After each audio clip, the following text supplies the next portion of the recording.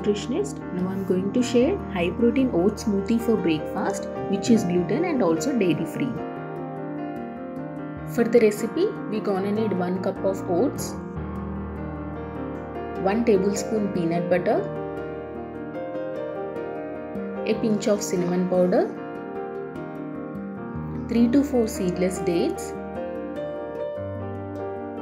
1 4th cup of cashews and 1 4th cup of soaked peanuts. Now let's go to the preparation part.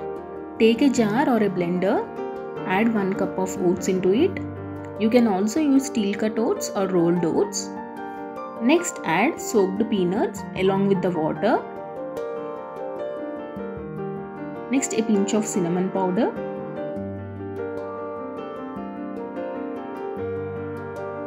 One fourth cup of cashews.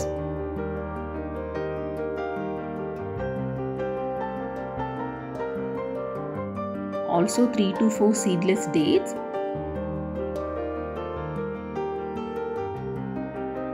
One tablespoon of peanut butter.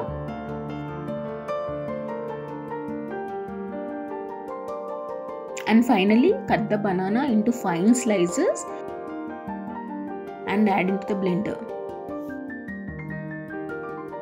Now blend all the ingredients together to a smooth paste and pour into the serving glass.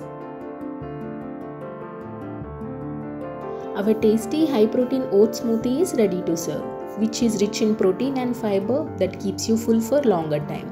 It also helps in lowering cholesterol levels and improves your digestion. Hope you guys like this video. Do try this recipe at home and also don't forget to subscribe our channel.